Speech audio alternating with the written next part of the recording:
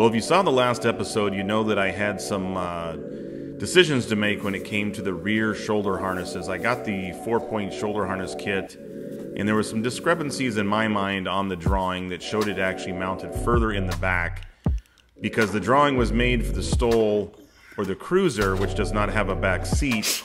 I felt that it put the shoulder harnesses in direct eyesight of the rear passenger, or potentially the rear passenger.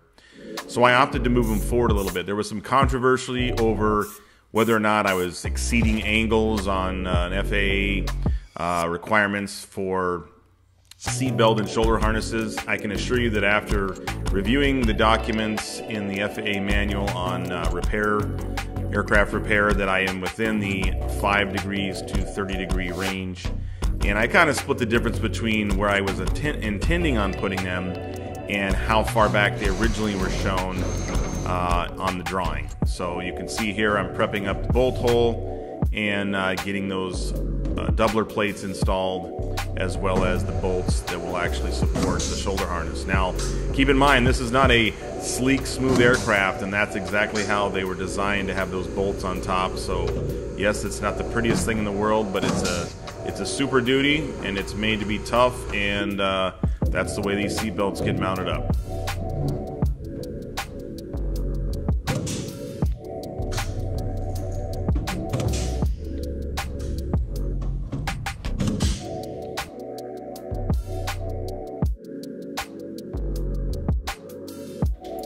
Right here, I'm just removing the uh, brake pedals and brake cylinders after I got them all fit up and everything uh, appropriately sized.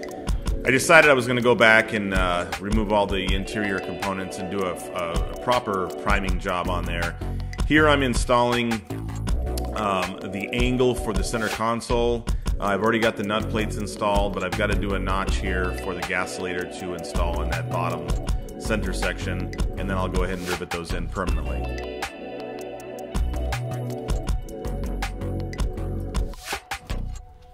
Just a couple quick snips and a little bit of smoothing on the, the sander, and these were nice and uh, cut out to fit the gasilator.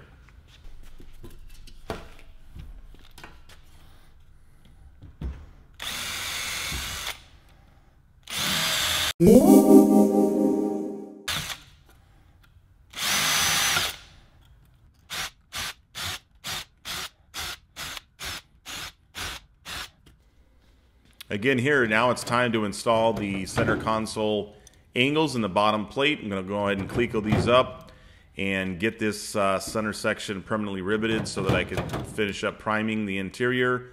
Uh, and I'll do that after I remove the remaining components like the seat rails and a couple other items. Uh, and then we'll make sure we uh, clean up the inside of the interior and get it painted.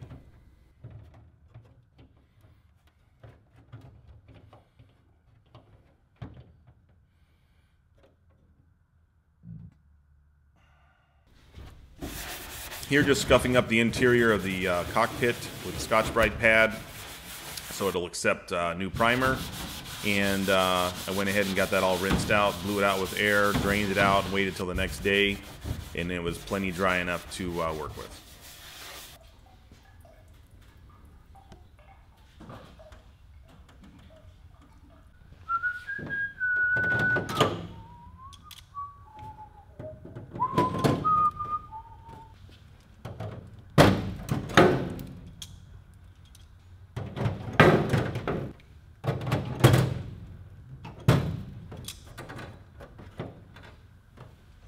Well, with everything going on in the shop today, look what else showed up.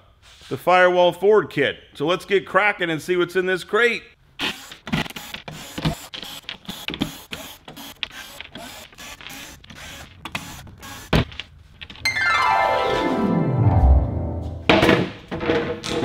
Hey, more paper. All right, guys. Well, the Firewall Forward kit box was completely empty when I opened it up. There was absolutely nothing in there. No, I'm just kidding. So let's take a look what was in there. We have an engine mount. We have exhaust pieces, baffle kit, heat option kit,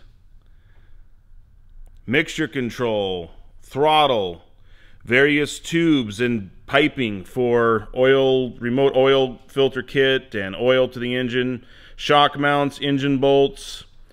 All this will be going into more detail on. We got a baffling material, oil cover, hardware and oil cover, stainless steel exhaust, again, tubing.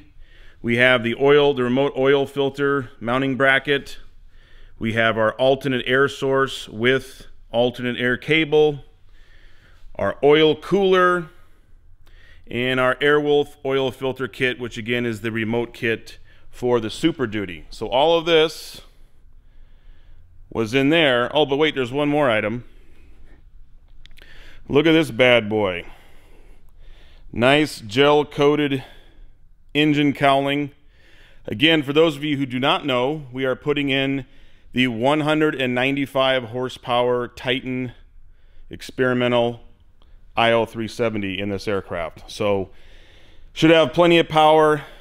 Very nice system. We're going to go into more detail on some add-ons that we're doing, working with some manufacturers to get the most efficiency out of the engine. And we'll be talking about that in a later episode. But guys, you're not going to want to miss these episodes. Th things are happening fast. We're moving along. Parts are coming in. Things are out at powder coat again. So as soon as those come back, we're back to building and back to building big, big time. So stay tuned. You're not going to want to miss these episodes.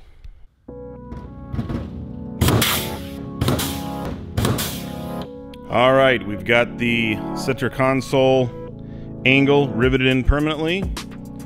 We've got the seat rails out. I've just got to finish riveting right here and then decide what I'm going to do with the armrest as far as riveting first or riveting after. And then we're going to get this thing masked off and get this whole interior final sprayed and then we'll start putting it back together again. All right, guys, well, I've got a lot to get through here today. I got a lot of stuff to sort out. I appreciate everybody watching the channel. Make sure you like and subscribe. Keep leaving those comments. I'll do my best to comment, uh, reply to every comment. And I do appreciate the, uh, the feedback as well. If you think I'm doing something incorrectly, let me know. I know I had some questions about a couple things on there, and I think I've addressed those uh, enough. But again, I appreciate everybody tuning in and watching the channel. If you're new to the channel, please make sure you like and subscribe and share the video with other people making, uh, building airplanes. And again, it's Adam with AeroWorks, and we'll see you on the next video.